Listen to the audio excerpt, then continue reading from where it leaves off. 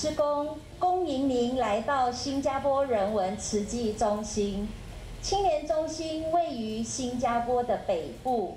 新加坡慈济人文青年中心结合周遭自然环境，规划各式各样的活动空间，有舒适餐馆、简约明亮的近似书轩，是环保展示区，也是心灵的充电站。我们再仔细的看一看，这一间屋子是由回收的材料制成。八个月，慈青自工在艺术家的带领下，缝制了这一家屋子。用二手回收布缝纫而成的家，是慈青挨家挨户收集二手衣物之后，到客工宿舍邀请外籍义工，透过缝纫艺术共同完成。他们称为“离家不亲”计划。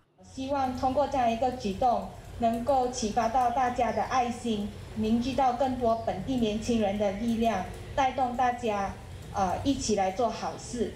我们呢，行善行菩萨道。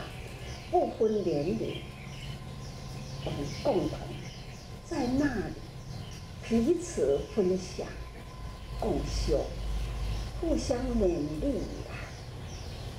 人人啊，做个年轻人的好典范。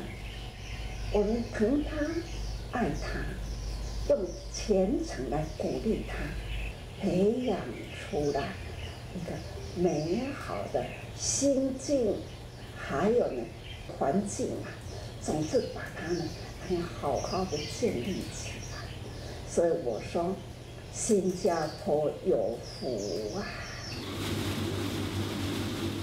职工们也积极劝诉，邀约超过百家商店，建立新加坡素食地图。大家秉持上人的大斋教义，戒慎虔诚，虔诚祈祷。